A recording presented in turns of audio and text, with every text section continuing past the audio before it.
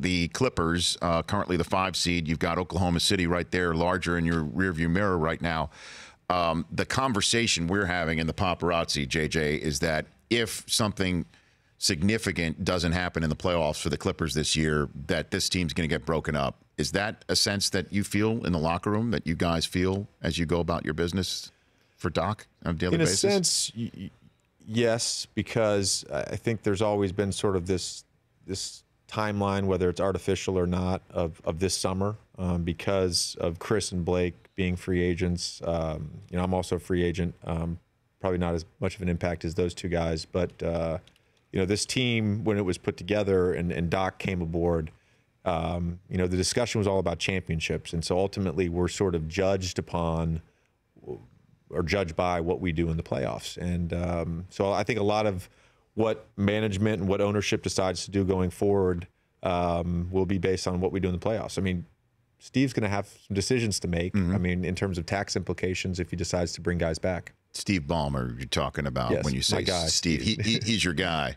The first time I ever met him, I called him Mr. Ballmer, and he, he immediately shot that down and said, "You only refer to me as Steve." So that's Steve Ballmer. Okay, and uh, is he as crazy as it seems? To Crazy? No, no, he's as passionate as, as it seems. Mm-hmm. Yeah. He, you had him on your podcast. I had him on my podcast. What is it He like was one of my interviewing the favorite boss? guests I had. on the podcast that you, you have on the Vertical. Yes, correct. I have a podcast uh, on the Vertical, which is is part of the Yahoo network. But um, Very good, by the way. You're good at it, JJ. thank you. I, oh, I appreciate that. You are welcome. Yeah, Thank you, got it. I- that means a lot coming from you. I Thank really you. appreciate that. But uh, he was one of my favorite guests. It's it's it's rare, I think, that you get a chance to have one, like an hour of one-on-one time with your employer. Yes. And uh, and when your employer is, is worth about thirty billion dollars Mm-hmm. uh, and owns the team, like it's just it was such a unique opportunity for me, and um, I got a chance to sort of pick his brain about you know basketball stuff, but also sort of business stuff, which Mm-hmm. is something that I'm interested in. And uh, he's just he's just a fascinating person to me. Yeah, and he, he can dunk a basketball when he's getting up there uh, with the That was help one of of a the scariest moments I've ever had. By the way, Why? Um, you thought he was not going to. well, I, I, I all I could think about was what his life insurance policy looked like. I'm sure it's massive. It's got to be. Well, I mean, if there is something to break his fall right there, uh, including Chuck the Condor, is there is there a way we can make that stop? Chuck the Condor.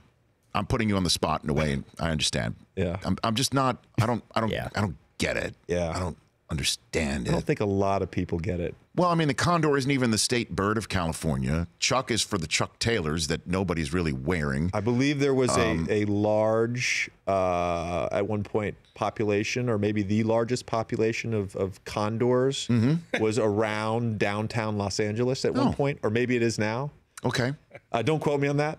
Um, But I is- think that was part of the reason. Okay. Chuck has grown on me though. He, he's he's grown on Well, me. When he first was introduced, I was like, "This is this is an awful cartoon. Who Mm-hmm. drew that?" But he's he's grown on me. Well, I mean, if you know you're a pop culture guy, you know the line from The Silence of the Lambs: "You covet what you see every day." And you, you've been, you've been around Chuck a lot more than I have been around. But see, I just, I'm just also not a mascot guy to begin with.